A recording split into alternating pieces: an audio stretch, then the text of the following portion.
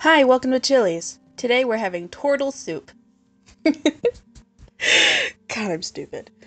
So, as you can probably tell, I'm drawing a turtle today. I'm drawing my favorite D&D boyo, Yordle, and I'm also going to be talking about him. I'm sorry if you could hear my cat snoring. so, Yordle is a fucking idiot. He he's a tortle druid. Let's start off with that. And he has pretty decent stats, like constitution, strength, dexterity, they're all like 2s. Wisdom he's at 20 right now. But intelligence this fucker's at a 4.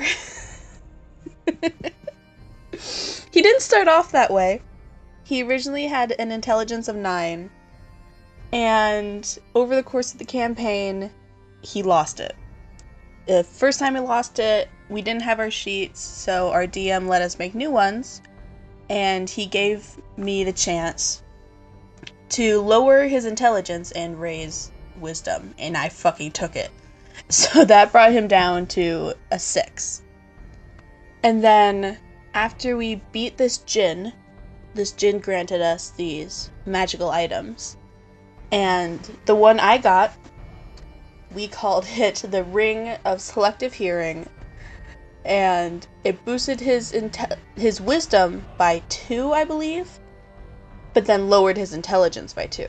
So he's at a grand old four, and he cannot take off this ring. He does not know he's wearing it. Like someone else has to take it off of him, and they haven't done that. So for now, he is eternally dumb and I love him so much. And he gets us into so much trouble.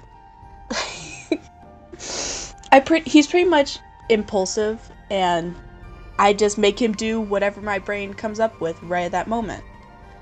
So that has gotten us into a battle with ghouls that almost fucking killed us because I went looking for traps.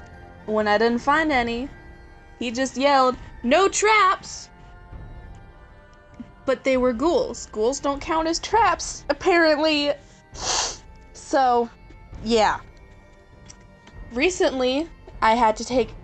Well, he had to take fire damage because he ate a carpet that was on fire. Yeah. Wasn't what I was trying to do. I, I was trying to eat the carpet, yes. But our sorceress lit it on fire and I just he didn't think. He doesn't fucking think.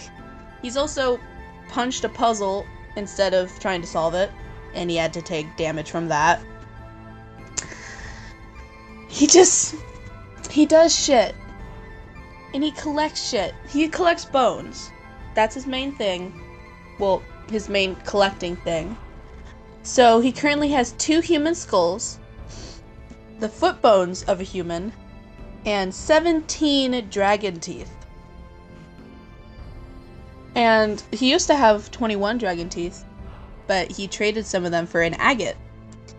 And he used that agate to awaken a tree, who I have named Ert, tree backwards. I know, I'm so clever. And when you awaken a tree, if you did not know this, they get an intelligence of 10.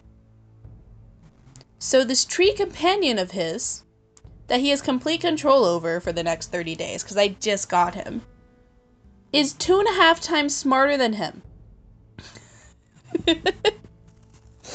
I'm not sure if I could like use him for intelligence rolls yet. I'll have to look into it. But holy fuck. and his strength is really good too. I think he has a 20 in strength or like a 19 in strength for Ert. So, I got a good I got a good tree companion and I'm going to do my best to take care of him because after 30 days he can run away if he wants. And I really don't want that to happen. He's so cute. uh What the fuck? That was a weird ass bird. So, yeah, Yordle, he's just a fucking dumbass. I love him so much, but like he can't do shit. oh, that's what I was gonna say. carrots. He is somehow carrots became his thing. And I, I'm not mad about it. But just that's his only motivator. It's carrots. and he's really good at growing them. He goes around like before the campaign, he was pretty much a hermit wandering around and yelling at farmers how to grow their carrots better. That was his life. And my other fucking campaign mates, they just use carrots to get him to do things. Like up until now we were like on a certain track trying to do things. And the whole time Yordle thought this it was for the benefit of carrots. Shut up, Izzy, you're not going outside. Ugh. Sorry. And every time carrots come up, he goes for them. Like I almost almost won a battle of wills with this deity because uh um he was trying to tell us to kill our other companion mates gods. And I was just like, but what does this have to do with carrots? Like, that's all I fucking care about, bitch. Why do I care? But he convinced me of saying that Bahamut wanted to destroy all carrots and cause worldwide famine. So I was like, oh fuck. Gotta gotta save the carrots, bitch. God. Yordle, he's just a fucking dumbass, and I love him so much. Uh, our campaign has just slowed down a lot. Um, it's pretty much open world right now, and I'm gonna try and give Yordle a fucking carrot farm because we're settling down for a while. And he deserves it. He's been through a lot. He's such a good boy. He deserves the world. Yeah, so, this is a weird rant about my son.